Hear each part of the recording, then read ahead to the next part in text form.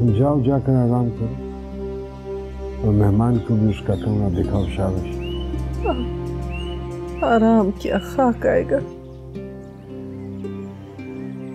اب تو بس خاک میں جا کے آرام آئے گا۔ آؤ بچے۔ آؤ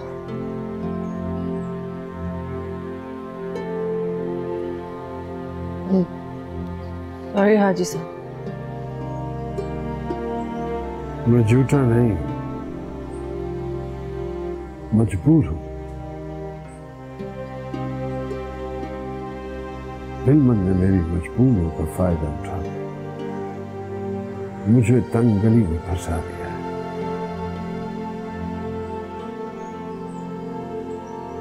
اگر کچھ کرتا ہوں، تو بیوی کہے گی کہ ستیلا باپ تھا نا، میرے بچے کو سزا دے گیا۔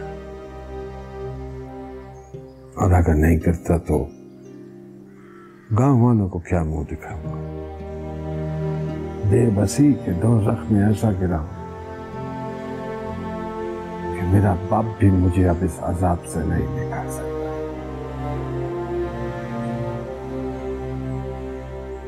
تو جاؤ مجھے آرام کرو۔ جاؤ۔